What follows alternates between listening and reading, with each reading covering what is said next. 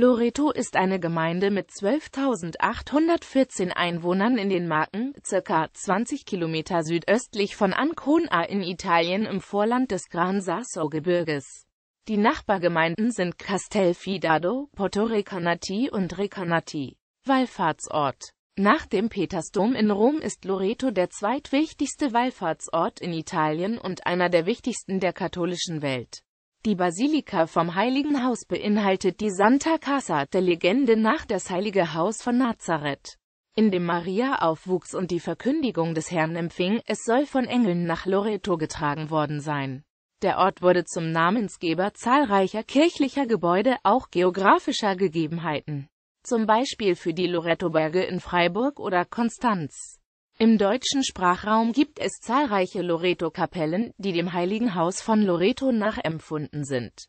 Zu den Kunstschätzen der Basilika gehören eine schwarze Madonna sowie bedeutende Werke von Melozzo da Forli, Andrea Sansovino und Luca Signorelli.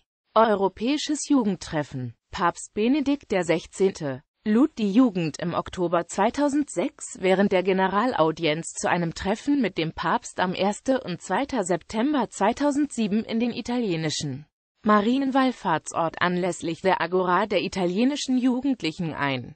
Das Treffen wurde von der italienischen Bischofskonferenz in Zusammenarbeit mit dem Päpstlichen Rat für die Laien veranstaltet.